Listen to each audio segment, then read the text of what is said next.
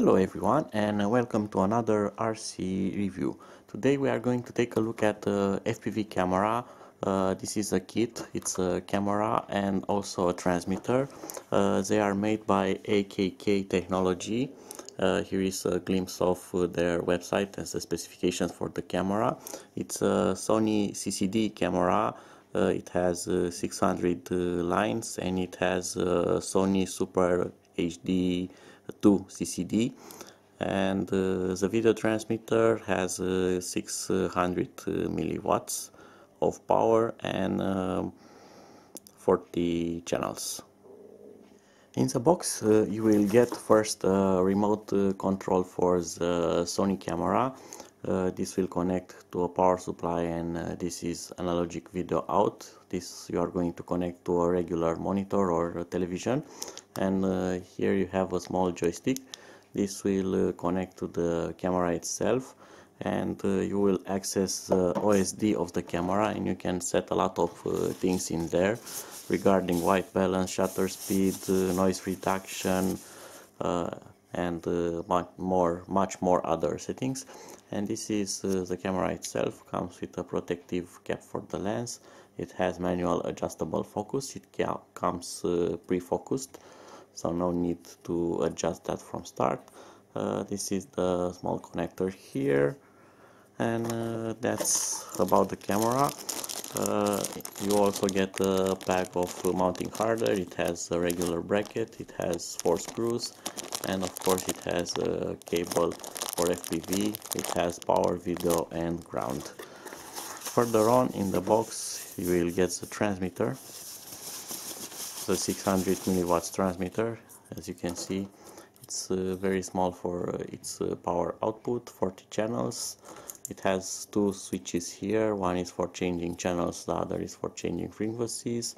It has uh, two LED digits on the back. It will show you the setting and it also comes with its own cable. I like the fact that the cables are uh, uh, twisted. The wires will not uh, tangle uh, very easy. It's a good idea to ship them this way and uh, they tend to last a bit more when uh, you are using them in this shape. And the connector will go like this.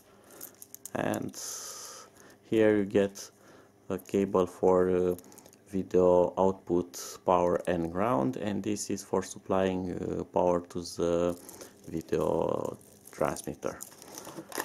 In the box you also get manuals for uh, this is for the video transmitter and this is for the Sony camera. It has a full menu walkthrough here and it shows each setting for the OSD menu and how to navigate it. There are a lot of settings here. The menu is uh, in English and it's very well written. And most of the settings have some specifications so you will get an idea of uh, how to set them to obtain your desired uh, results. I'm now going to quickly show you how the OSD works and uh, what uh, settings uh, this little camera has.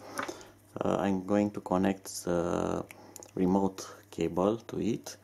On the other side I'm going to connect this uh, analog video cable that goes into the television. And I'm going to use uh, the DC jack to power uh, the camera. I'm using uh, 12 volts uh, the camera supports wide voltage from uh, 5 volts to 20 volts. And that is very good because you have a lot of options to supply power to it. Okay hopefully it will stay here. And I'm going to remove the lens cap and let me zoom on to the television. Okay so we have image there. And if I press the remote button I get into the lens uh, option first but this is the menu so it starts with lens option. Uh, of course this is manual because uh, the camera has a manual lens so I'm going to move on. Exposure in exposure you have shutter speed. You have a lot of options here. You can uh, lock the shutter speed or set it to automatic. Brightness of the camera auto gain control uh, dynamic wide dynamic range. This will uh, improve uh, contrast between uh, light and uh, dark areas. Uh, and we can return. White balance it has automatic white balance automatic white balance too. You can set your own you can select manual and then change settings as you would like. Uh, you have profiles or you have blue and red settings. And uh, that will make your image look exactly like you would like to. Uh, backlight this is for backlight compensation especially when you film against uh, highlights. Okay day and night. This is for uh, switching the camera to black and white color or letting it choose automatically. This is for improving image quality. Uh, black and white is better for low light while color is preferred on daytime. So I'm just going to leave it auto but for FPV uh, it will be better to leave it on uh, color and lock it that because otherwise it will switch from color and uh, black and white and maybe that will not be perfect for you. Uh, DPC here is for uh, calibrating the CCD for removing hot pixels. It has a built-in uh, correction. You just cover the lens put the camera in a dark area start that and if you have white spots on the image they will be automatically corrected. On the special uh, menu you get an option for cam title I believe here yes you can put a name to be displayed on the camera. Just like that. And it's a bit complicated as you need to move in this matrix with up down left right. Okay so I have put letter A but I'm going to turn it off. Uh, motion this is for motion detection. This is mostly for other things like surveillance privacy. You can mask some uh, of the image. Park line you can use this camera on a car and you have uh, guidelines for reversing your car. This could be useful. You can use FPV for that. Image adjust. You have here options for um, uh, noise reduction. You can uh, mirror the image turn it around. Font colors contrast sharpness type of display. Uh, you can even uh, make the image negative reverse the colors and of course you can always return. Uh, this here communication adjustment this is for connecting the camera to other protocols. Language for the OSD the version of the camera and I can return back. And reset we will make all the settings back to default. So those are all the settings in the camera menu for now. And you can see it's very easy to set up so let's move on further. I'm now going to remove uh, the camera um, OSD controller the remote and I'm going to connect the regular FPV cable the one that only uses video and power. I'm going to connect that to the output cable of my video transmitter. It's output for power input for video so it does both of them. Uh, this uh, transmitter here also has its voltage regulator for the camera and it will send out regulated 5 volts while uh, this can uh, work up to 20 volts also. So you can use it with 2s lipo 3s lipos with no problem. So i'm going to use a small 3s lipo for a test. Before powering uh, it up it's very important to first install the antenna.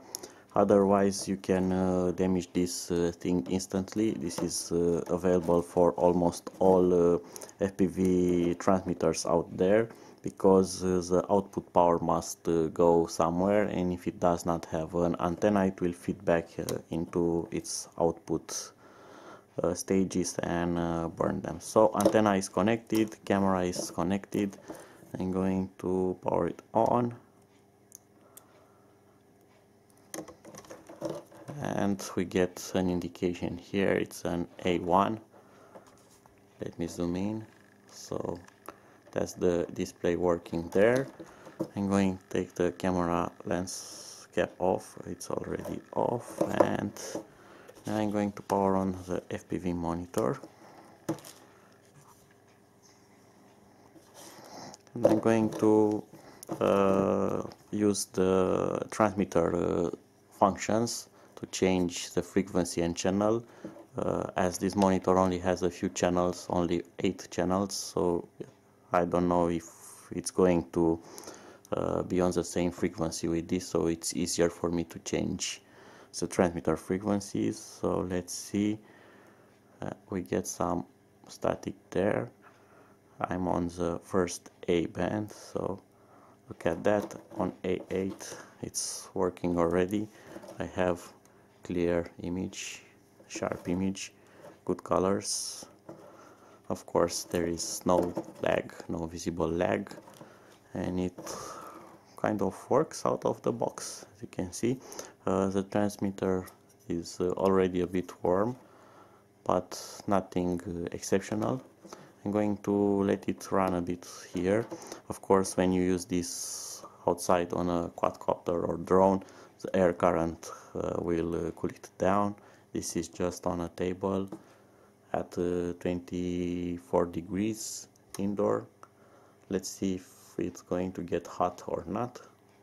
So it's been over uh, 10 minutes uh, since uh, the camera and uh, video transmitter are running. You can see here are 11 uh, minutes soon to be 12 and uh, I'm going to measure the temperature of the transmitter because it's a good thing to know if it's going to overheat or not so I'm going to use this. So I'm almost at uh, 70 degrees as you can see 69.7 which is a bit high. But uh, as I've told you this is uh, uh here on a bench with no air current to uh, cool it off. So this mounted on uh, the tail of an airplane or somewhere near airframe where the motors are spinning on a quadcopter uh, it will be cooled down so no problem there. Let's see on uh, the other side. 68 degrees. So it's not bad but it's not cool either. Uh, this definitely needs uh, air current around it for uh, having it a long lifespan so uh, this was uh, just part one of uh, this uh, video review because this was uh, just a bench review and camera presentation. A final test will be mounting this on a quadcopter or uh, on one of my planes and try to test its range to see if the 600 milliwatts will take it far. I believe this will go to uh, one or two kilometers easy in uh, this configuration but uh, hopefully we'll see that soon. Until next time bye bye